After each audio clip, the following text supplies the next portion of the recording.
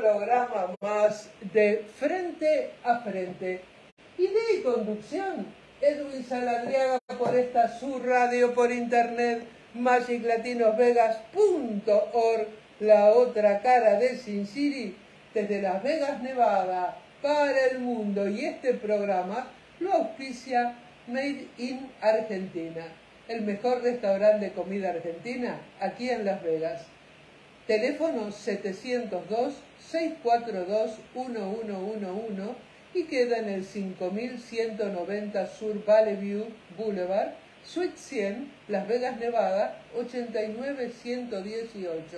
Saludamos a Pablo Rodríguez y a sus dos hijos que como siempre nos hacen quedar exquisitamente bien con nuestra autóctona comida argentina.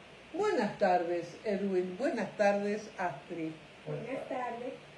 El reflejo, de las, el, reflejo de una sociedad se ve cuando ella está tranquila, cuando no es sobresalto, cuando la situación realmente no amerita para llegar a los extremos de la incertidumbre y del pánico que estamos viviendo en este país a base de las armas de fuego. La realidad es que en este país se matan más niños y adolescentes que en la, la guerra que tuvimos con Afganistán y con Irak. Cada año. No es mentira. Es real. Y no porque lo haya dicho el presidente Biden o algunos legisladores. Las estadísticas están allí. ¿Qué vamos a hacer entonces? ¿A qué discusión tenemos que llegar? ¿A qué puerto tenemos que avanzar? ¿Y cómo tenemos que dar una alternativa de tranquilidad a una sociedad que cada día está más intranquila. No se puede estar tranquilo en un templo, ni en un restaurante, en un mall, ni en el cine, ni en una discoteca, ni en un hotel.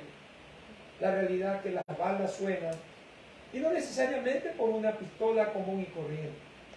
Suenan porque hay 400 millones de armas en un país de 331 millones de personas. Y muchas de esas armas son armas de guerra, son armas de destrucción masiva, son armas letales que destruyen no solamente a la persona, sino que muchas veces es difícil reconocer el cadáver. Esto es lamentable en un país que se supone que tiene que haber un orden preestablecido y de los países desarrollados, Estados Unidos es donde más asesinatos por armas de esta naturaleza lo hay. En otros países como Francia, Alemania, Italia, Inglaterra, Japón y Canadá, que son los otros seis que conforman los siete países desarrollados en el mundo, no suceden, no suceden estos hechos. Y aquí los políticos se daban las manos diciendo de que quien mata no son las armas, sino las personas. Vaya con ese cuento, señores. ¿Cómo van a matar las personas? Ellos aducen que el problema de salud mental es grave.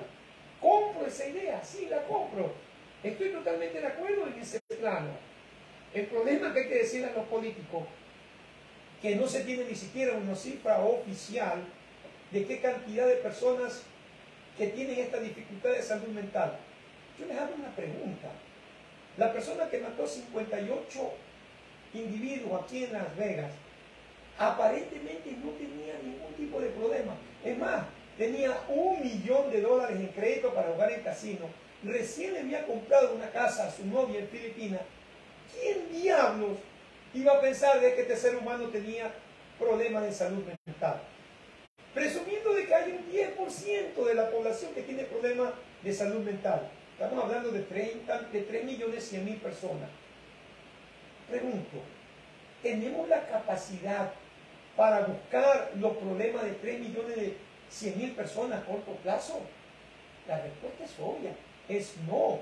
Tendríamos que tener una cantidad de, de psicólogos y trabajadores sociales que atrás de esas personas, saber cómo están esas personas para buscar este primer problema.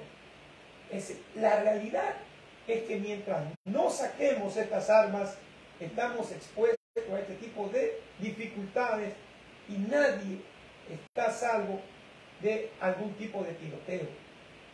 Lo que pasó en Texas ya, ya fue la gota que derramó el vaso. 19 niños, muchos de ellos, no podían ser reconocidos por eh, la, la arma poderosa que tenía este individuo, Salvador Ramos. La, la pregunta básica es, ¿qué vamos a hacer con aquellos políticos que reciben fondos de aquellos que fabrican esas armas para matar a los niños y a los adolescentes? Señores, si ustedes quieren que a sus hijos les pase algo, adolescentes, sigan votando con aquellos que están a favor de las armas.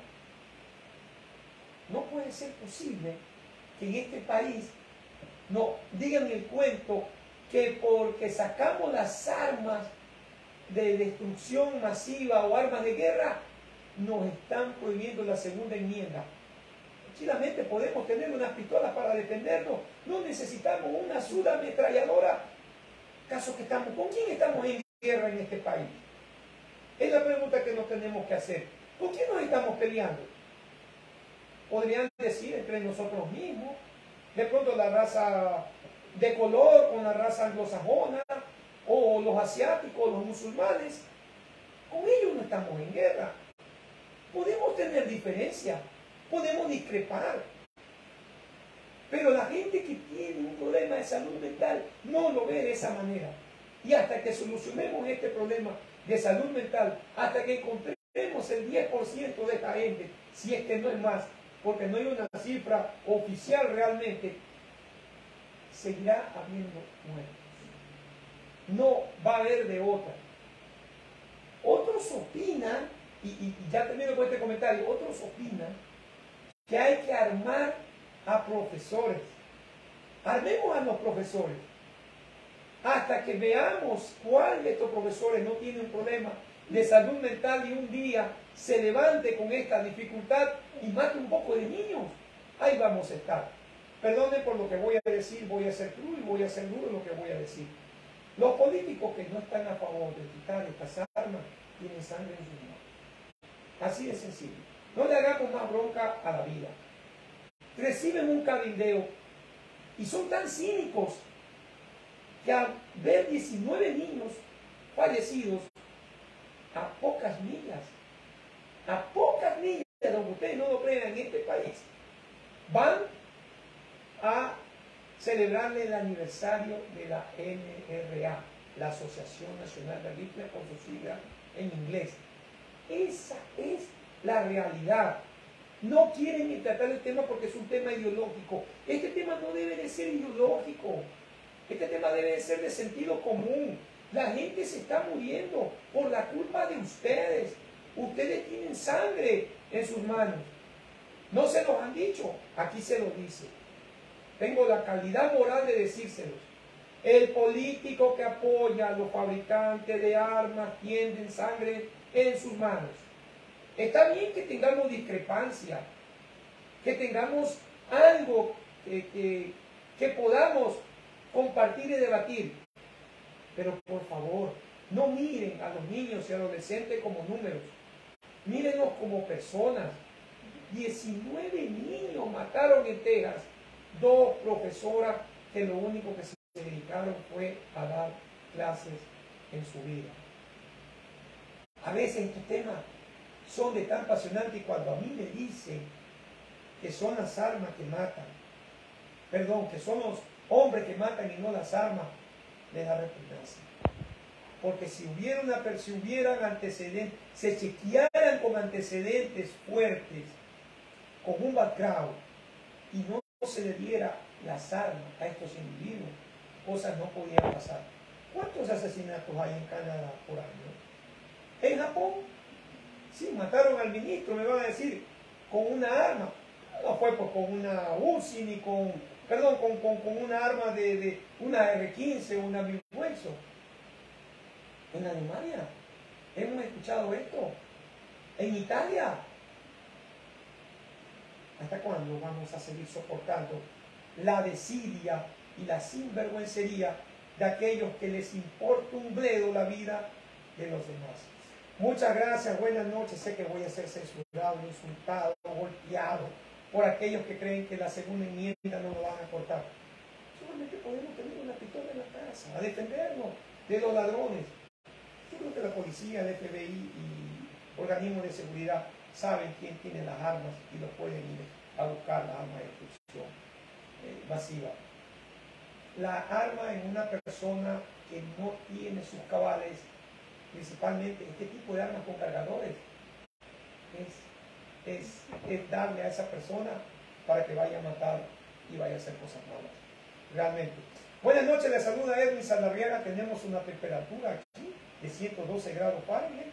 En el mundo de los normales, para los latinos, 43 grados centígrados. Pero acá adentro está fresquito. Acá adentro estamos totalmente frescos. Ah, y ese sería un tipo de otro comentario.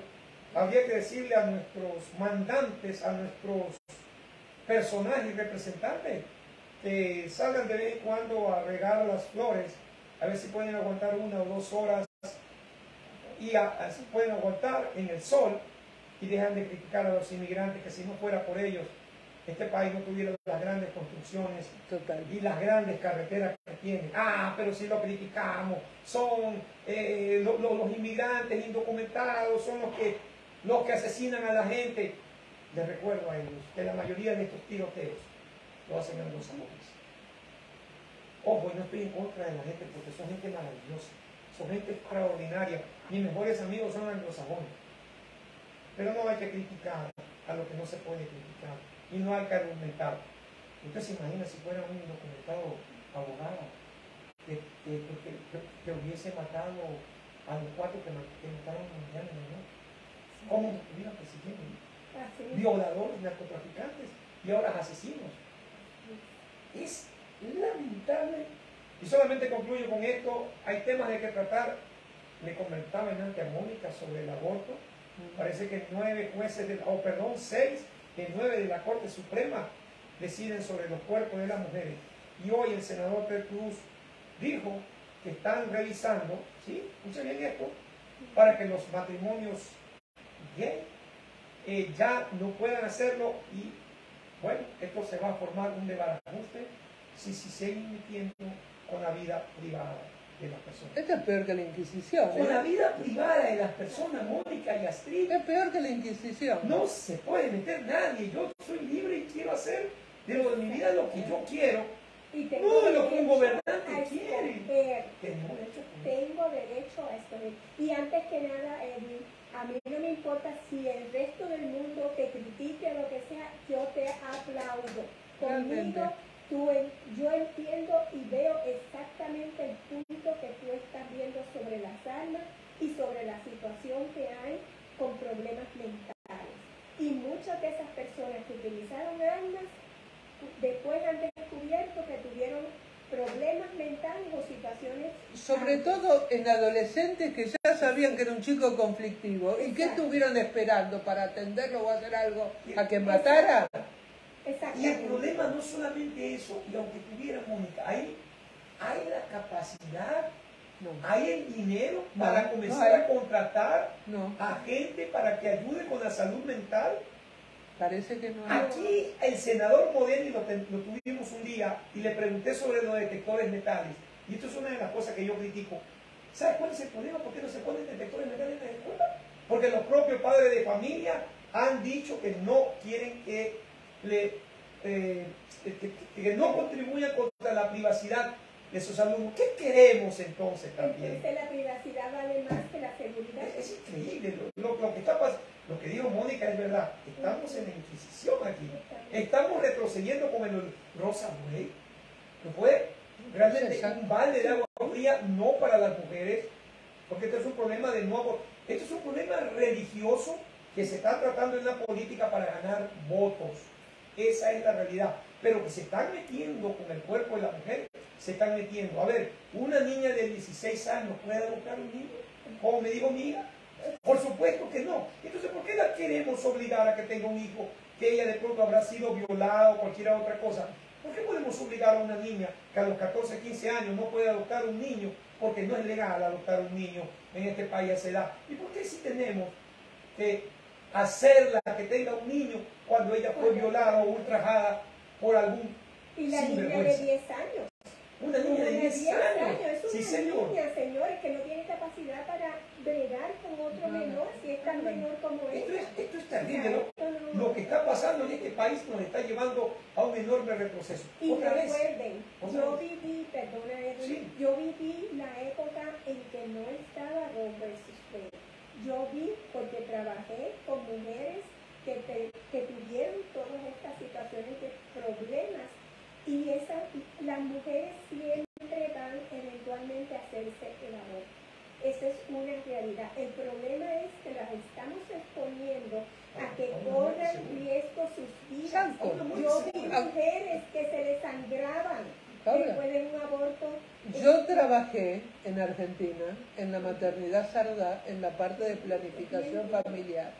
En brazos míos murieron chicas de 14 años, donde una comadrona le había hecho un, un aborto con una raíz de una planta que era abortiva y murieron de septicemia cuando en otros lugares les perforaron el útero porque cuando se prohíbe el aborto se abren los, los consultorios clandestinos. Clandestinos. Y es peor, porque la mujer va a abortar igual, eso no se lo va a El impedir, problema, el, es un problema, el cuerpo. problema es que el aborto de aquí es, es como clasismo, ¿no? Una mujer morena de poco dinero, una mujer latina, inclusive una mujer anglosajona de clase, de clase baja, de rural.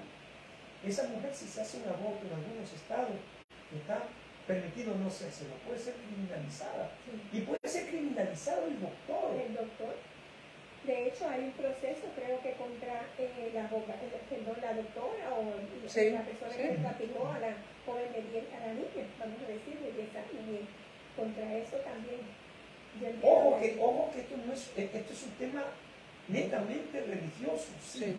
Pero que lo llevemos al campo político, que lo llevemos a un campo en donde la realidad muestra otra cosa.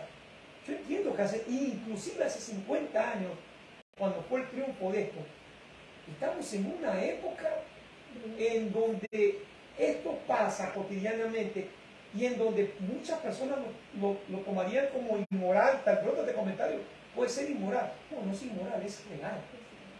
Esto no es inmoral ni, ni no moral, esto es real, esto pasa. Esto, no, esto pasa si, si la mujer es católica, eh, eh, cristiana, lo que sea, esto pasa. ¿Y qué hacemos? ¿Qué hacemos? ¿Qué hacemos entonces? Bueno, eh, eh, sí, sí, abogada, ¿quiere comentar algo? Bueno. Yo quería comentar algo, porque esta conversación ya la tuve inclusive con un grupo de gente con relación a la situación del aborto.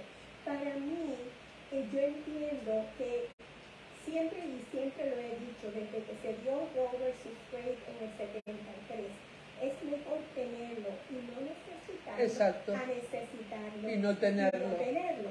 Yo no soy partidaria de hacerme un aborto. Yo tampoco, pero Aquí hay un problema grave y es que tenemos que orientar a nuestra juventud. Nosotros tenemos que estar pendientes y bregar con nuestros hijos. Yo recuerdo cuando mis hijos eran chiquitos, que llegaron a la época de la adolescencia, yo hablé con ellos y les senté y mis hermanas me decían, oye, pero ¿por qué tú le-?" Yo digo, no, yo les voy a enseñar que existe el condón, que existe esto para este, protegerse, que en aquel entonces eran, se usaban pastillas, porque, y también les dije y les advertí, si alguien sale embarazado, vamos a ser responsables. O sea, en ese aspecto. Pero, vuelvo y digo, o sea, hay situaciones que tú no las puedes evitar como una violación, especialmente una violación a una persona. Otra vez, esto no es una cuestión de moral, sino de una cuestión real. Exacto. Esto pasa, esto pasa. ¿Y qué vamos a hacer? ¿A quién vamos a criminalizar porque la viole? Ujú. Tras que la mujer es ultrajada, la tenemos que criminalizar dos Y veces. Y obligarla a tener a alguien que aunque sea duro y no decirlo, es fácil criticar desde el espejo ajeno, ¿no es ¿Y cierto? cuál es la Qué responsabilidad fácil del criticar. padre de ese niño exacto, exacto. Porque ahí es donde Lo, más, lo más- lo más triste de todo es que criminalizan a la mujer y muchas veces no encuentran ni al violador. Exactamente, pero Totalmente. porque tenemos que entrar con la familia completa. Tenemos que empezar a orientar y a... Exacto, hacer planificación familiar, Sí, hay un montón de métodos para no quedar. Pero si te viola una patota y te viola más de un tipo, cuando te dicen, y bueno, tenerlo y darle en adopción. Vos podés tener adentro de la panza, recordando el hecho traumático de que te violaron varios veces y querer, ya lo estás destruyendo desde la panza. Yo voy a decir una cosa que va a parecer salvaje. Es preferible abortarlo a dañarlo toda la vida a ese hijo porque fue rechazado desde la panza, que después caen en drogas, caen al... Exacto. Eso, muchos de esos jóvenes que tenemos pueden ser procesos que han pasado muy similar, muy particular en esa situación.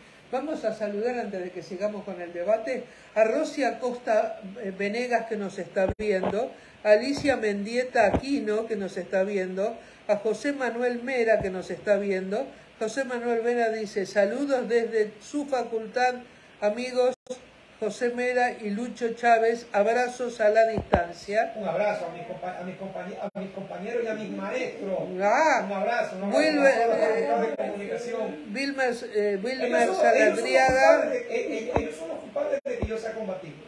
Bueno, Wilber eh, Saladriaga dice, excelente programa. César Parrales nos está viendo. Rafael Zambrano nos está viendo, Loli Saldarriaga, Jessy Álvarez González, Loli Saldarriaga dice, excelente programa, me siento orgullosa de mi querido sobrino Patricio, que Dios me lo bendiga siempre y me lo cuide, a ver, y me lo cuide, y me lo cuide siempre, me lo cuide toda una vida desde la distancia, le mando un fuerte abrazo igual. La felicito a su estimada amiga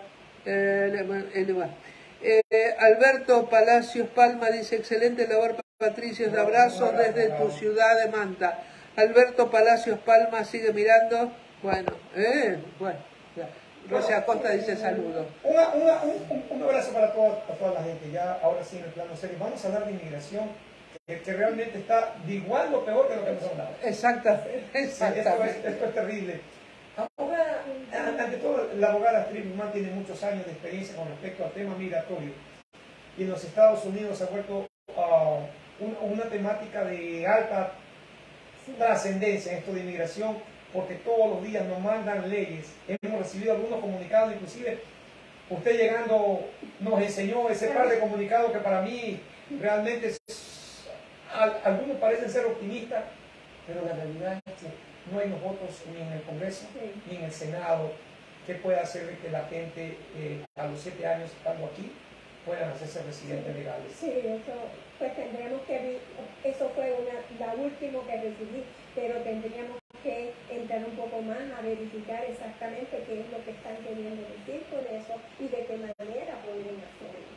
Eh, yo eh, acabo de regresar del Congreso de AILA, la, la Organización de Abogados de Inmigración, eh, que fue ahora en junio eh, en la ciudad de Nueva York, y allá nos advirtieron que para el mes de julio íbamos a tener un bombardeo de diferentes casos o, diferentes cambios. esto lo está mandando el Consejo de Seguridad Nacional. ¿O, o lo están mandando, quién lo está mandando estos comunicados? No, eh, bueno, yo los recibo a través de eh, la organización de abogados de, la inmigración, la ILA. La ILA, la ILA. Exacto. Y pues nosotros los compañeros de abogados, cuando vemos que sale algo, pues también lo eh, sacamos y lo, y lo, eh, lo, lo compartimos. Me parece fantástico. Ah, comencemos en materia. ¿Qué está pasando con la cantidad de cubanos que están teniendo problemas? Es gravísimo lo que está pasando aquí con el... Primero expliquémosle a la gente que está fuera y dentro del país qué es un parón y cuál es la circunstancia que están viviendo esta gente después de que el presidente Obama le quitó lo que era pie seco, pie mojado. Sí. Sí, la realidad es que el quitar pie seco, pie mojado, que no es una ley, eso se lo tengo que explicar a todo el mundo, eso es simplemente un policy, es una manera en cómo vamos a bregar con estas situaciones o las personas que entran.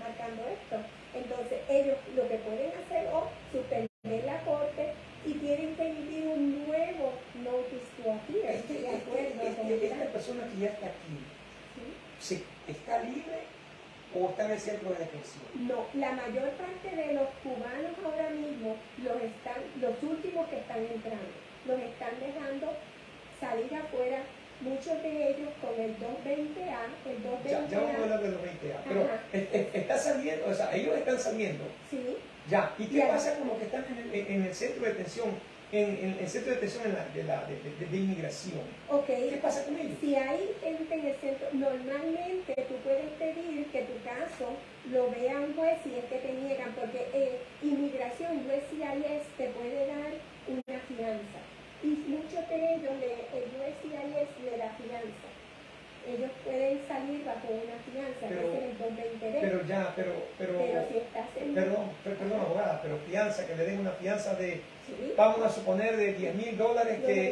10% sería 1000, porque aquí se paga el ah. 10%, ¿no es cierto? Sí, eh, si tienes una... Pero mucha, mucha de esta gente no tiene dinero. Sí. Se tienen que quedar ahí. Hasta ahora, bueno, por lo menos los que han salido, sí, pero esa, ese es el proceso. Ya, o sea, y, ya y el juez, si el, el, oficial de inmigración te niega que no tienes derecho a fianza, porque también lo han ah, entonces tú puedes tener rodean. Y entonces hay procedimientos donde cubanos han ido al Congreso y el juez en, en, en, el caso de los, de los, cubanos puede ser un poco más, no más fácil, pero porque ellos viven aparentemente, no aparentemente, ellos viven en un gobierno que, tiene, que hay una dictadura, y eso no es aparente, eso es real desde 1959, sí. que hay una dictadura. Pero, y si me pongo a pensar de los uh, otros países, por ejemplo, de Guatemala, de Honduras, de El Salvador, ¿cómo vas a justificar o cómo vas a tratar de buscar un asilo político cuando, cuando de esos países cuando está registrado de que no hay ningún tipo de dictadura?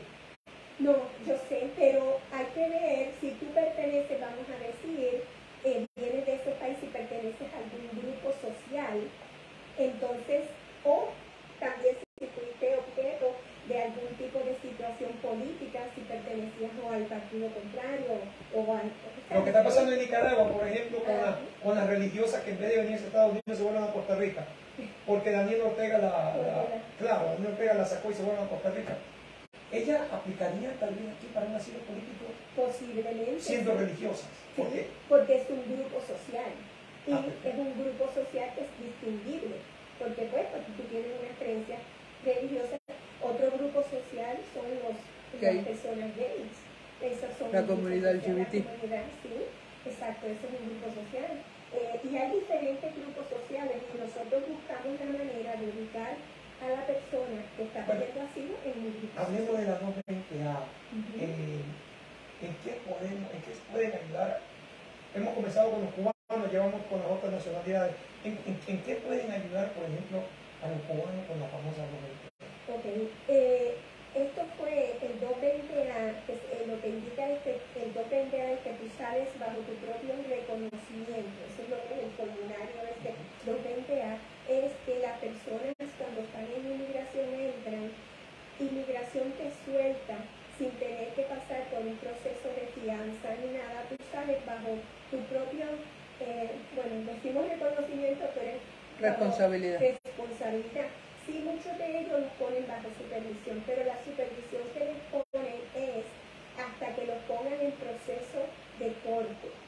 Y lo que hacen muchas de la supervisión que he visto más es que simplemente se comunican con el supervisor de inmigración de IAO, esos son los de remoción, los que dan las eh, supervisiones, y muchas veces, la mayor parte ha sido por teléfono, o sea, que les dan este, ese tipo, y cada X tiempo ellos se reportan a, esa, ese oficial o esa oficial que los esté viendo. ¿Y ese, y, ese, ¿Y ese reporte es cada mes, cada tres meses, cada seis meses?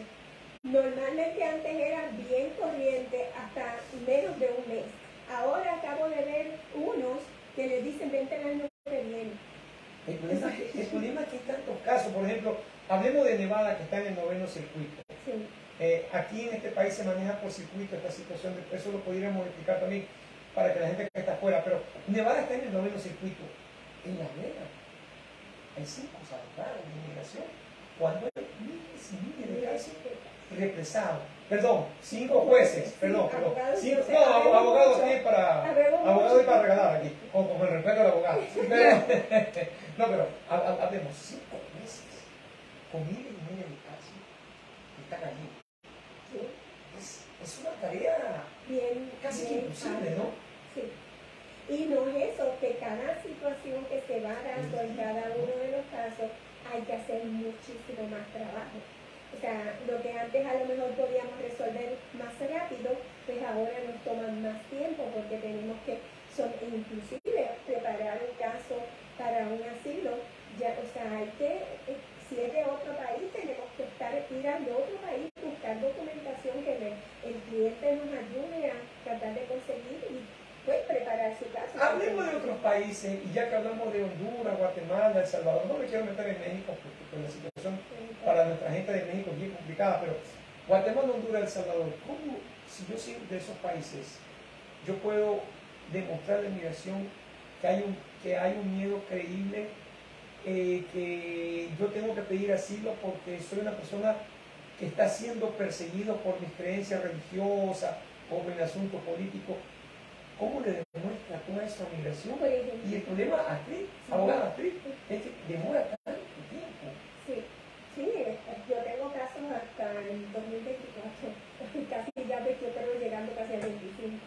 Eh, si, si eres perseguido por una situación política, lo primero que debes hacer es recoger, tratar de recoger información o los familiares tuyos que te ayuden a recoger información que ya estés acá sobre, por ejemplo, si pertenecías a algún partido, pues buscar a ver credenciales de que pertenecías a tal partido, eh, testimonios de gente que te conociera y que sabía que tú estabas en eso, ¿verdad? Que estabas en ese proceso. Si hubo algunos lugares donde hiciste algunas manifestaciones y te tomaron fotos, fotos, es, algo. O sea, estuviste preso por o sea, estar si estuviste preso también y si llevaste también algún caso de denuncia policial porque también a veces uno, pues, ellos han tenido que denunciar a personas que los han estado eh, persiguiendo. Pues sí, todo eso, o sea, son, es un sinnúmero de cosas. Y volvemos a lo mismo, o sea, nosotros nos sentamos con el cliente, hacemos un interrogatorio, o sea, le preguntamos qué fue lo que fue, explícame qué fue lo que pasó, qué fue lo que te motivó, qué fue lo que hubo, anotamos todo y de ahí es que vamos entonces indicando, ok, mira, aquí esta, ella, él o ella dice que le pasó esto, vamos a ver si recogemos información sobre esto. Aquí pasó esto, vamos a ver si podemos recoger información. Es, es, es, decir, toda la gente que quiera pedir asilo político tiene que venir con una documentación adecuada para presentarla a un primero un oficial y después un juez? No ¿O cómo se estipula eso? Ok, no necesariamente ante el oficial, porque el oficial lo que te va a hacer es un eh, interrogatorio sobre el miedo, ¿verdad? ¿Por qué razón tú necesitas pedir asilo y por qué no puedes regresar a tu país? Ahora, cuando ya vamos a ir ante el juez, debemos tratar de recopilar lo más que podamos sobre eh, la situación de lo que te ha pasado en tu país, pues porque es de la manera, parece que uno puede narrar un montón de cosas, pero como yo evidencio que eso que yo estoy narrando sucedió. O sea, yo tengo que buscar evidencia documental y también sacamos evidencia de las condiciones del país, sacamos evidencia de, o sea, de todo. Sí, claro, ¿sabes por qué se puede enamorar? Que ahorita están viviendo muchos jóvenes y niños Sí. solos. Sí. Y eso es uno de los problemas más graves que hay, porque no se sabe muchas veces a dónde pueden encasillar a ese niño o esa niña que viene solo sin familia, inclusive sin tener familia aquí Sí, y no saber de dónde proceden esos niños. sí.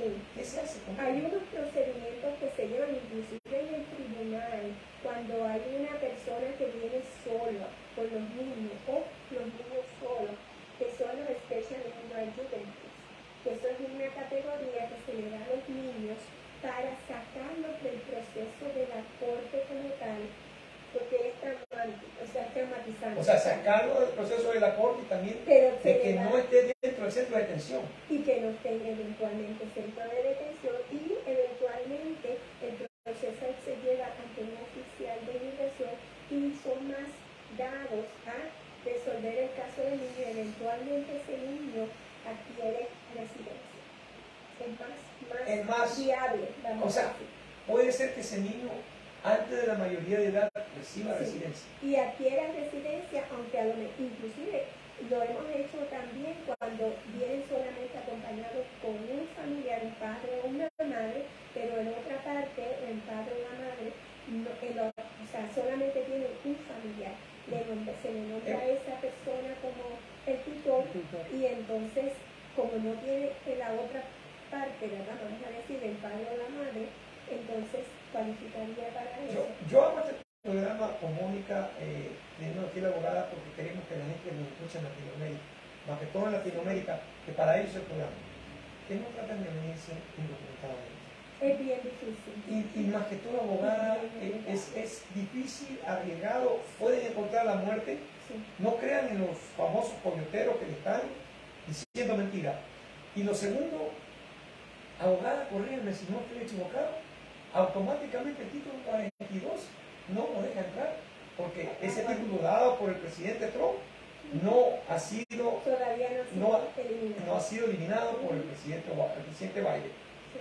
Entonces, Es bien riesgoso. Y yo le digo porque a veces uno, mire, yo he vivido, yo viví en todos estos países y sé la situación. Y a veces me da dolor porque pues veí la situación en que pasaban los niños y todo esto, pero exponerlos, inclusive hasta con un coyote, a que pasen y traten de llegar a los Estados Unidos es muy riesgoso.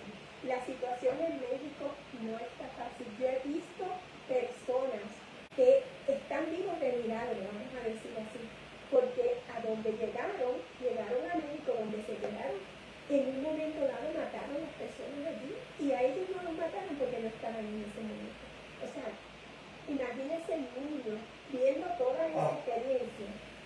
O sea, Es eso increíble. Y, traumático. y, y- y- imagínate, tú tienes que cruzar desde, vamos a suponer, desde Chile o desde donde sea, y irte por la selva de Perú o por, por los lados de Perú, llegar a. Ecuador llegar a Colombia. Y de Colombia a Panamá está la selva Mariel, Mariel, no sé Sí. cómo se llama. Si algún colombiano está que me corrija. Allí es difícil hasta salir vivo por la cantidad de Sí. extorsión que se hace.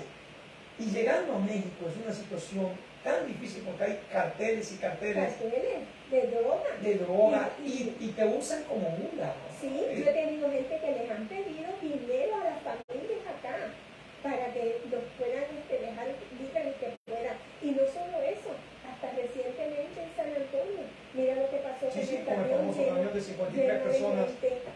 Bendito sea Dios, o sea, mira las condiciones en que te ponen. O sea, estamos hablando No. de son condiciones. Si usted ve a alguien, por favor, y si se quiere venir a Estados Unidos, dígale que lo piense mil veces porque la realidad no va a poder llegar acá con tanta facilidad como le no es El sueño americano ya no está como antes, ¿no? Así que ya sueño es lo que nos falta aquí en este país. Pero bueno, sí. bueno, eh, hablemos entonces de los venezolanos aquí.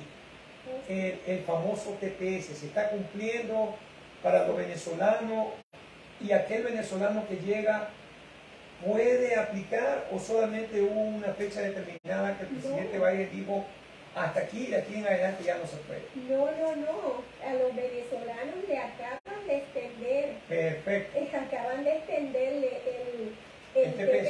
Sí. Pero los que están en el país, yo me refiero de aquellos, ya está bien, va- va- vamos a hablar de lo que está pasando aquí, pero aquellos que digan, bueno, el, el presidente Biden extendió el TPS, así que si yo voy cercándome ya a la frontera, yo también aplico para el TPS. Sí, eh, ahora mismo no, creo que eh, la, la fecha que tenían para el TPS creo que era hasta septiembre Hasta septiembre de este, de de este año. este año, sí. Ok. Y creo que lo extendieron, sí, no tengo aquí el papel. No, no, está bien, está bien. Pero creo que lo extendieron hasta marzo del año 2024, si no me recuerdo. Creo que Sí, sí, 18 ca- meses más. sí, 18 meses. Entonces, Ujú. ahora, eh, sí, este, yo digo, tienen que, el que tiene derecho a TPS, mire, usted a- consulte con un abogado y si hay que hacer el análisis completo, hagamos el análisis y solicite el TPS, Sí. porque uno no sabe. ¿Quién lo que aplica, puede- quién aplica para el TPS? TPS es el, estatus de protección temporal para aquellos que están fuera del país. Sí, El estatus de protección y temporal. puede el ser con visa y se le haya vencido visa, que hayan entrado con visa y los que llegaron después de Es decir, lo que llegaron por medio de la frontera. Exactamente, exactamente. ¿A quién, a quién le está afectando? Ahora sí entremos a esto. ¿A quién está afectando el título 42? Este famoso título 42 que nos tiene mareado todo en este país y mucha de la gente le echa la culpa al presidente Trump y dicen que el presidente Biden, eh, aunque no ha querido sacar, pero hay al- algunas cosas que lo han desechado y han dicho no, no lo puedes eliminar. Sí, sí. El, el- el- el- el título 42, para que la gente entienda, es de aquella persona que eh, en época de pandemia no podían entrar porque este país se declaró, o, eh, eh, hubo una declaración en este país que por medio de, porque ahí la pandemia eh, era de cuestión de seguridad nacional. Por, el- por, el, eh, eh, Por lo del COVID, del por lo del COVID, COVID. por la situación de que, ajá, en ese aspecto, sí, bueno, ahora mismo pues eso está todavía vigente, o sea, sí yo sé, sí yo sé, por lo menos de la gente que han estado entrando, que les están haciendo las pruebas, les están haciendo el chequeo. Y obviamente, aquellos que se quedaron afuera, porque sabe Dios si había algo, están afuera, o sea, no, no han podido este, renovarse de esa situación, o sea, de alguna manera, eh, de, pues, o sea, entrar acá, tienen que esperar, hay que esperar, y va a haber mucha gente, de verdad, Edwin, ahora mismo hay un montón de gente llegando a la frontera, que inmigración, vamos a decir, eh, inmigración no va a tener la capacidad de poder bregar con toda esa cantidad. de El problema, el problema, el problema es grave aquí, es como si hubiera un equipo de 22. Exacto, Porque si en este momento hay una cantidad de gente que sabe que no puede entrar y que realmente la van a enviar a México, que es la frontera más cercana, está al sur de aquí, cuando ya estén, cuando no esté el título 42, esto sería un descontrol total. Y el problema, como tú empezaste diciendo, hay mucha gente de inmigración, especialmente los que trabajan en IARO, que son los que están, los primeros que Muchos son nuevos, pero no hay tanta gente. Muchos se han retirado, porque yo sé que yo conozco mucha gente. Y, mucha gente, y mucha gente recién están preparándose en la marcha. No saben cómo actuar. Es decir, es un problema grave que tenemos en la frontera, aunque no lo queramos creer. Creo y, que... Y, es bien grave realmente lo que está pasando. Y creo que escuché que el presidente ha estado en comunicación con el presidente de Quizás eh, para ver qué hacen, porque y escuché también, esto no lo he podido confirmar porque no he tenido la oportunidad, pero eh, escuché también de que está tratando de ver de qué manera los diferentes países de los cuales tienen toda esta cantidad de gente ayudan en esta situación, porque va a llegar un punto en que no, realmente no, no vamos a poder. Ah, hay, hay, hay, gente que, son tan fascinantes y tan corto el tiempo. Pero yo, ya que está, hay gente en Latinoamérica que nos está escuchando eh, y usted es una persona con tanta experiencia, eh, alguien me preguntaba, haz la, la, la, cuestión, la pregunta, la, valga la redundancia, eh, ¿cómo, ¿cómo, mi hijo, es un extraordinario estudiante en la universidad, quiere ser un masterado en Estados Unidos, ¿cómo puede obtener una visa de estudiante desde mi país? O, puede, con una visa de turista puede cambiar el estatus en Estados Unidos. ¿Qué le conviene a, ese, a esa persona?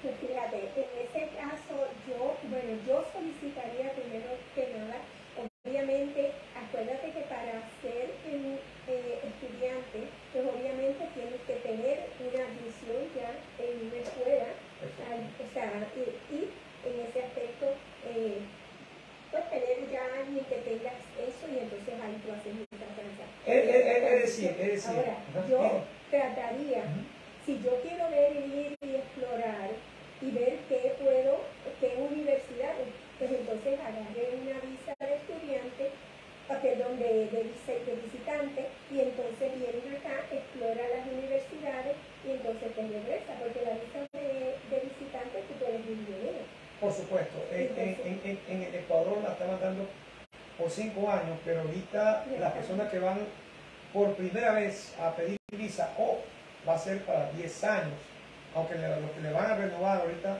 serán para cinco, pero los, primeros, la, la primera vez va a tener tu visa en el Ecuador va a ser de 10 años.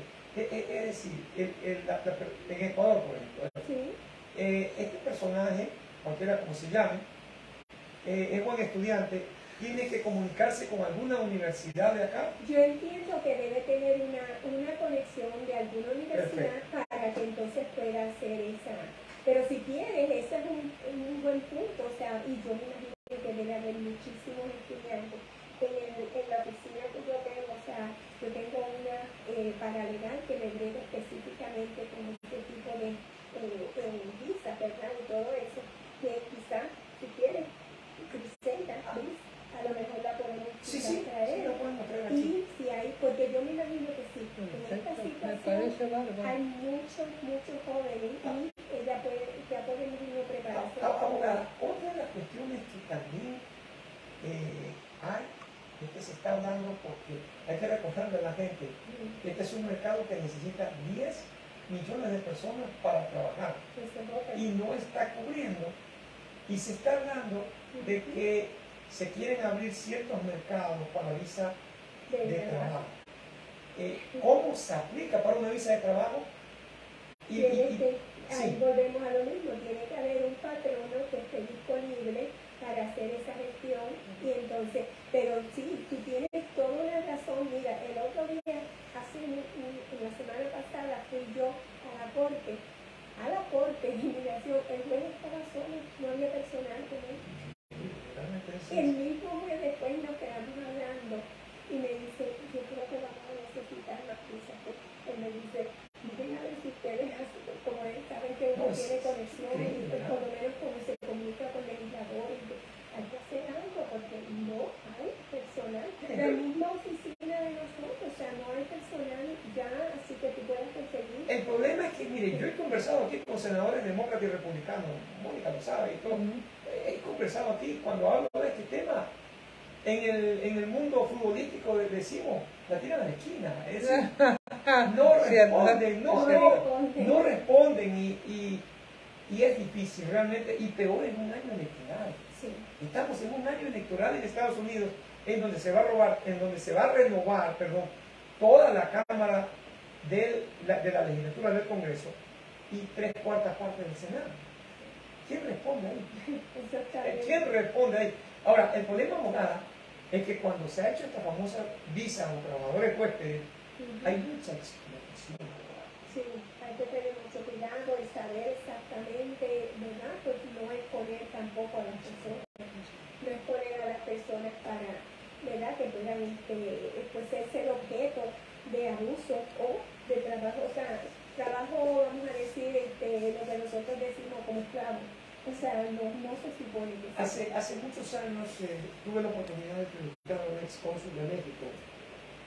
Y, y hablábamos de, de, que, por ejemplo, en el, en, en, el norte, en el norte de Las Vegas, este, eh, perdón, en Las Vegas, al norte de Nevada, perdón, al norte de Nevada, sí, sí está, está rico, sí, digo, Kansas City, todas las ciudades, realmente les explotan, le quitan el pasaporte. Es increíble. Hay algunos, por eso uno tiene que ser muy cuidadoso, especialmente los abogados que breguen con ese tipo de situación, en ver en qué proceso ya, ya se les va a permitir que se den. Abogada, explotada, que es puede ser objeto de algún tipo de reajuste distinto al que puede tener, puede obtener alguna visa residencia o algo por el estilo. Yo pensaría en la visa. En la visa U, ya vamos a hablar de la visa U también. Yo me imagino que tú estabas pensando en esa misma. No, no, sí, sí, en la visa U, por supuesto. Yo pienso que, y uno podría, porque eh, la visa U, aunque mucha gente conoce y dice, no, porque si, la, si yo necesito un reporte de policía, de que me he quejado o ha habido que me ha afectado, pero eh, no necesariamente es la policía quien certifica. Puede ser una agencia de gobierno quien certifica. En este caso en Nevada, ¿quién sería? Ah, bueno, en este caso, yo he tenido eh, eh, visas certificadas por la Comisión de, del Trabajo. La, comisión, la Labor Commission podría ser la Comisión del Trabajo, dependiendo. Y si hay personas que están pasando por una situación así, esas personas se pueden unir y ellos entonces hacer como un grupo de clase y llevar esa, esa situación.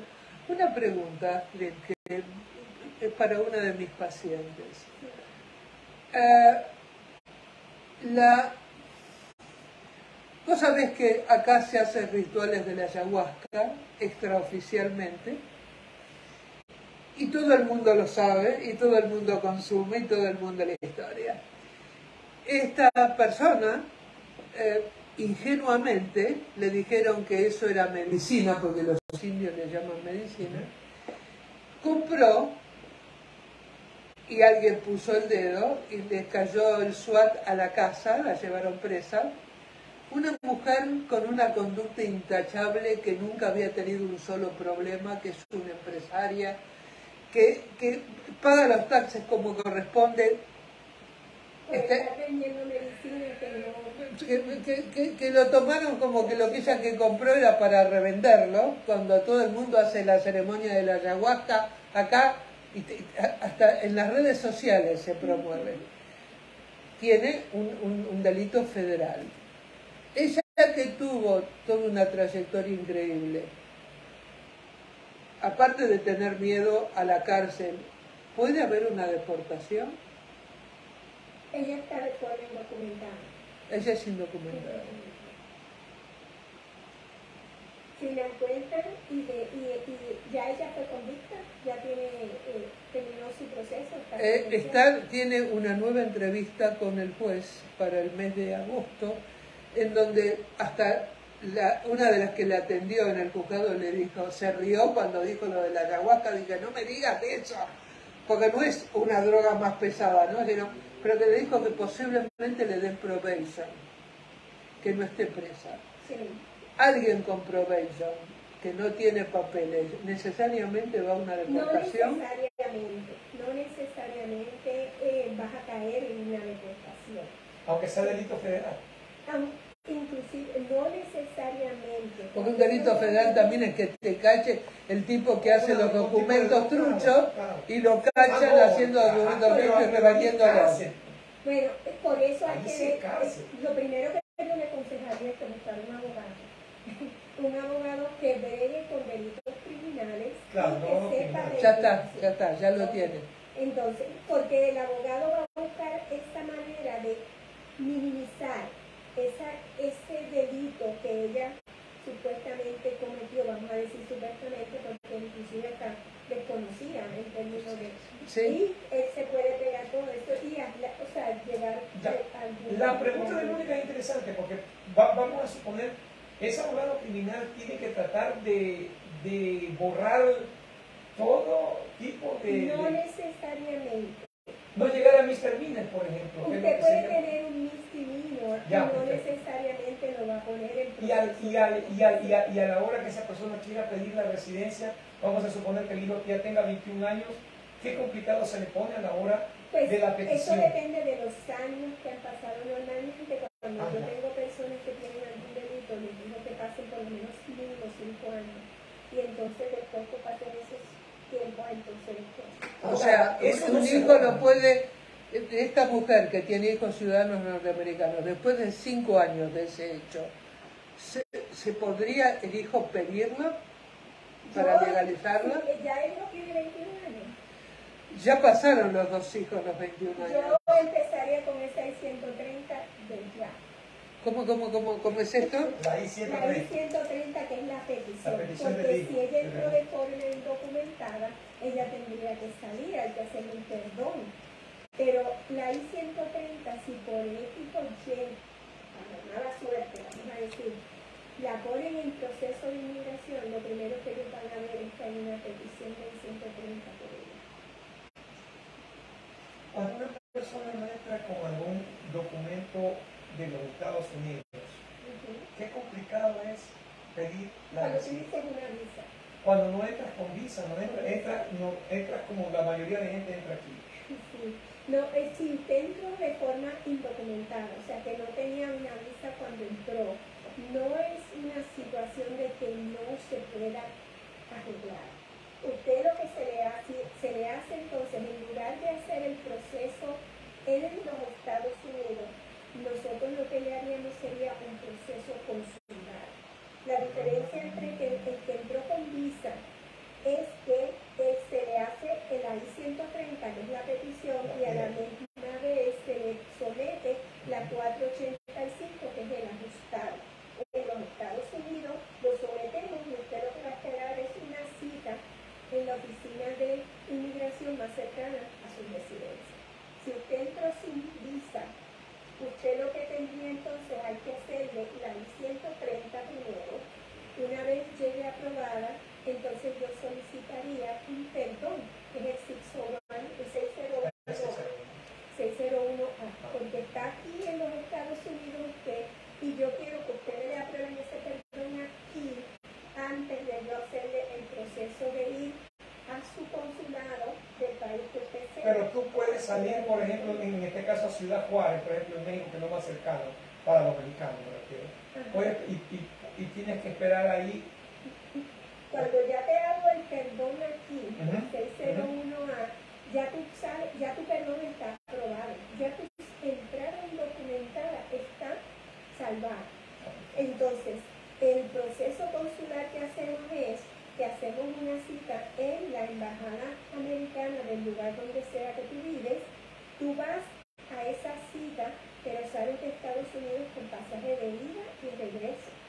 ¿Por qué? Porque ya tu perdón fue aprobado y entonces solamente vas a hacerte una prueba médica, obviamente porque siempre te hacen una prueba médica en tu país y hacia, a la cita, que ya vas con fecha de la cita, el día de esa cita lo que hacen es que allí el oficial que te ve, lo que hace es que te poncha tu pasaporte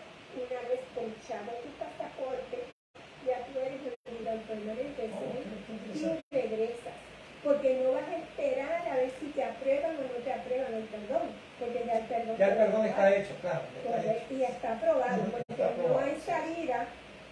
Pero no hay salida si no está ese perdón. No, no puede salir porque cuando sale. Si saliste, no entraste nunca más. Exacto. Son 10 años. Y Eh, eso mucha gente tiene que Perdón, entender. son 10 años si te dejan, porque yo Claro, no creo claro. que a todos los que están 10 años afuera, algunos no les permitieron volver. Ahora, ah, tengo, tengo, tengo, tengo, tengo dos preguntas aquí que son importantes aquí. Sí. Por ejemplo, eh, yo tengo una, una amiga que hace muchos años eh, estuvo en los Estados Unidos y se salió, salió ya indocumentada a los Estados Unidos.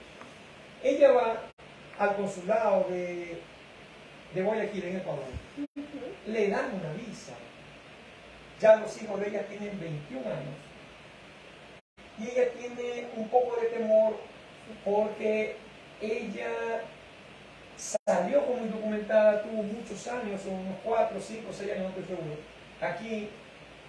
Y ella le dieron la visa correspondiente. Entró la segunda vez legal, la primera vez no entró legal, la segunda sí, entró legal. Ahora, ella quiere que sus hijos le sometan la petición, la I-130. Y, este, ¿qué posibilidades tengan de que se la demos a la niña? Mira, mira, ese tipo de casos o ese tipo de situación, cuando llega a mi oficina, yo le mando a hacer, lo primero, primero es un FOIA, el Freedom of Information para saber qué tiene inmigración de ella. ¿Por qué? Porque ya ella vivió en los Estados Unidos, entró de forma indocumentada, a lo mejor nunca la agarraron. A lo mejor ella entró y se fue y nunca la agarraron. Es como si no existió acá. Pero, Pero, por ejemplo, cuando te hacen ver en un doctor, en una agencia, Exactamente. ¿Qué evidencia ella? Porque hay alguna evidencia que ustedes aquí. Si, a lo- si en, en ese momento que ella vino aquí, a lo mejor nacieron hijos. Y usted tiene evidencia de que. Claro, o sea, claro. yo lo que siempre me aseguro, antes de hacer cualquier proceso, en- especialmente en esas personas que estuvieron acá, se fueron y ahora posiblemente no haya nada, pero yo no lo puedo determinar hasta que yo lo vea, porque a ella fíjate que le dieron una, una visa. Si a Claro, hubiese habido algo, puede que no le dieron la visa. Visa. Pero yo no sé tampoco qué fue lo que ella puso en esa petición de esa visa.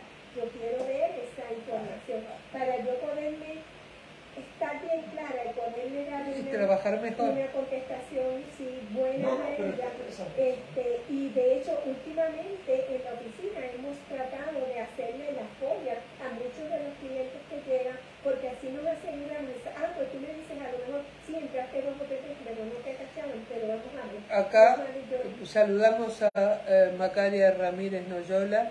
Rosy dice, y si saliste una vez de aquí, el problema es que no sé en qué momento hizo esa pregunta, lo que estabas contestando.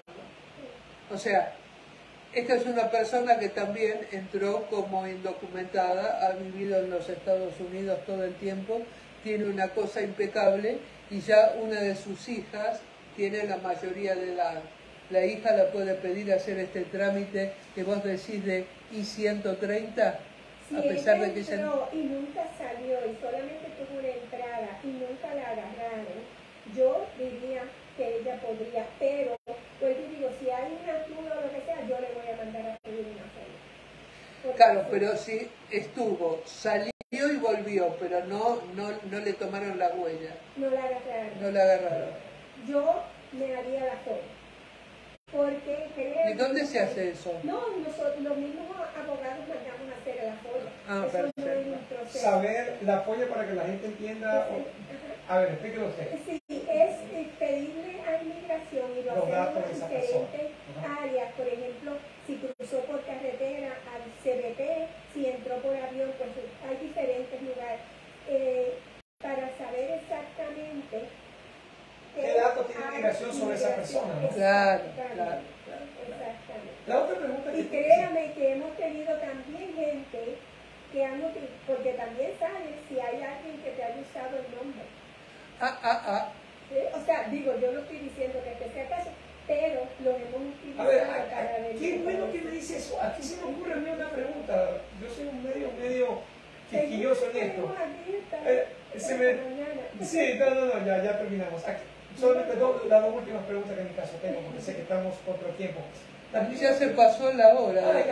La, la, la, primera pregunta es, si entra Mónica Roca o Edwin Saldarriaga y tiene un homónimo con Mónica Roca y Edwin Saldarriaga y ha usado el seguro social, eh, ¿cómo, cómo y, y, y, te detiene inmigración? Inmigración dice, bueno, pero no sabes este número, tú... Por eso es que hay que pedir el FOIA, porque acuérdense... ¿Cómo limpiamos eso? Bueno, eso es lo que hay que ver, si claro. este, hay que ver, porque lo único que no hay un perdón disponible hasta el día de hoy es el que usted haya entrado usando documentación de un ciudadano, americano. Bueno que lo dice. Sí, eso es muy serio y siempre hay que, oh, documentación, decir, de hasta un libro permanente residente, yo le reservaría esa. ¿Por qué? Porque le van a, a, poder tratar de implicar en que está usted cometiendo fraude. Claro. Y una de las uh, últimas preguntas es, personas de la tercera edad, eh, quieren hacerse ciudadanos. Y ambas personas tienen un problema de retención, de memoria, de memoria, de retención para poder dar el examen en inglés. A veces ni en español pueden retener. Sí, yo lo ¿Cómo esa persona puede dar, eh, no el examen, porque esa persona me imagino que tiene que... ¿Qué es lo que hay un documento ya. Sí, hay un documento, para que esa persona no dé el examen. Si mal no recuerdo, tendría que, pero creo que es el 648 ah, sí, que sí, se, utiliza, se utiliza para que un médico, que obviamente casi siempre sería el médico de cabecera, el médico que le está atendiendo, porque ese es el que sabe de qué condiciones usted padece, puede que le mande a hacer condiciones de, porque hay sistemas que Sí, sí, tiene principio Alzheimer o demencia senil. Exacto. O irrigación entonces, ahora, cuando usted ya somete su N400, que es el formulario para pedir la ciudadanía, pues usted somete ese documento con el formulario y entonces ellos ahí le... Yo he tenido gente que ni tan lo único que le preguntan es, ¿usted es una de tal? Y no le dan el examen. No le dan el examen. Acuérdese también que eh, hay unas eh, eh, indicaciones que si usted dependiendo cuántos años lleva de como legal permanente resident y cuántos años tiene en edad, eso tendría que buscarlo está en la N400. si usted tiene X cantidad de tiempo como residente, pues entonces puede que lo haga en su idioma. Exacto. Preguntas para terminar ya. Creo que son como por lo menos 25 años. 20 años y, no tendría que. Sí, más o menos eso. 55 años de edad. Exacto, exacto, exacto. 20 años como residente y que, y que, 55. Y que 55. Sí, pero vuelvo y les digo, yo he llevado gente mucho más joven. Porque digo, ahora digo yo, a usted demencia le puede dar hasta cualquiera. Yo he llevado gente joven que no han tenido ese tipo de situación. Claro, porque te tenido un derrame cerebral y tienen parte del cerebro con una necrosis y no pueden retener, o tienen problemas de speech en el área de broca. O han tenido algún golpe. Golpe, obvio. Eso puede pasar, le puede pasar. Claro, le puede pasar a cualquiera. Pregunta rapidito con respuestas cortas. Mujer o hombre que esté casado con una con uno o una ciudadana americana fuera de, de los Estados Unidos eh, es viable de que antes de casarse eh, vaya al consulado, la pida como fiancé. O, o sea, espérate, espérate, ¿está casado o no está casado? no, no, no, no se ha casado todavía Ajá. y eh, son novios y se quieren casar. Sí. ¿La puede ir pedir a ella como, como fiancé, como novia? Podría pedirla. Eso es un, es ¿Puede venir esa persona acá? Entonces, acuérdense que cuando le dan el, el, aviso de fiancé, llega a los Estados Unidos en cierta cantidad de tiempo, si mal no recuerdo, eh, no me acuerdo si son tres meses. Tres meses. Para que entonces ella debe casarse y entonces ya entra todo Un religioso que quiera venir a los Estados Unidos. Hay una visa para eso también. La K1, ¿no? que no me acuerdo el número, sí, sí, pero no porque yo soy nuestra colonia. No, no, no, tranquilo, tranquilo. Hay que acordarse también de todos los formularios, ¿eh? Ay, por favor. Yo creo, que, yo creo que de tanto que le entrevista a usted, ya yo me acuerdo de todo realmente. Sino que, ¿sabe que Le hago las preguntas, porque tenemos de pronto público, público nuevo y, y, y de pronto, no, no. Sí. La, la gente, pues hay, hay mucha de la gente que quiere venir a dar una charla religiosa, Sí. o es novio de alguien, que es ciudadano americano, y estas cosas Sí. son demasiadas, demasiadas importantes. Si se dan cuenta, señores, que hablar de inmigración es quedarnos aquí horas y horas. Es enorme el tema y están pasando cuestiones temáticas y no hemos hablado de los comunicados realmente que le han llegado a Street porque queremos ver realmente qué es lo que va a pasar y después la vamos a invitar para los famosos comunicados que nos están llegando de, de verdad Street a raudales y todos los días y nos hacemos locos y no sabemos y no sabemos qué. Hay uno bien importante y es sobre los TPS, las salidas de las personas que van afuera porque se les puede pedir una salida al regresar, igual que se hace con los jóvenes cargas. Pero hubo una situación donde paralizaron a los TPS y ya no les permitían ajustar. Pero ahora hay unas nuevas directrices, así que eso es otro tema. para estos otros no sí sí bueno, Bueno. bueno, aquí tuvimos y déjame terminar con con esto aquí tuvimos a Angélica Cervantes. De pronto este programa se lo dedicamos a Miles y a Angélica Cervantes. Esta señora, niños, creo que no tenía ni un mes que le habían matado a su hija. En la balacera. En la balacera, en la del de balacera octubre del primero del de 2018. Me parece que fue el Eric Silva. Eric sí. Y cuando hablé de las armas, me acordé de que fue una señora tan valiente que se sentó con su servidor y yo soy demasiado insidioso. Ese día a mí no me salían las palabras del dolor que tenía esta mujer. Miles de Angélica Cervantes que todavía esperan y aspiran que los políticos no nos vienen como que se sacudan y que digan ya no más sangre en mis manos. Sé que voy a tener repercusiones por el comentario que hice. Pero Como te vale tuve, madre. como- y es normal para mí. Y te vale madre. Y te vale y madre. es, y es normal porque ya estamos enseñados y curtidos a esto. Pero este programa es para miles de Angélica Cervantes que han tenido la cara, la fortaleza de salir adelante con esto que es lo peor que le puede pasar a un ser humano. Porque la muerte de los padres sabemos que a la larga se va a explicar pero el dolor de perder un hijo y de la manera como lo perdió, un hijo que ayudó a cientos de personas en salvarse, que no se quedó tranquilo, que no se quedó tranquilo, ¿sí? Un Porque héroe. él se pudo haber salvado Un héroe.